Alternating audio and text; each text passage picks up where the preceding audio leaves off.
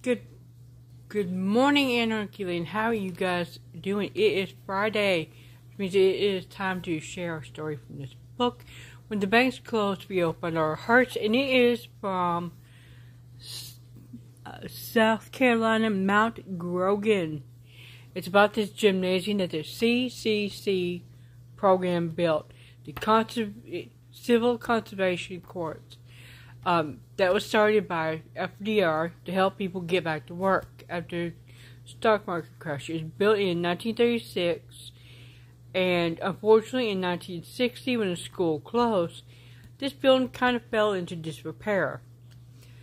Now, it was deeded to the city of Mount Croghan at some point, and they renovated it.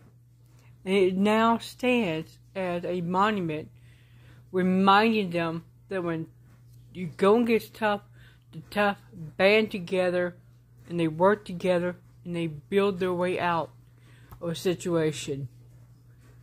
I'll see you guys next week.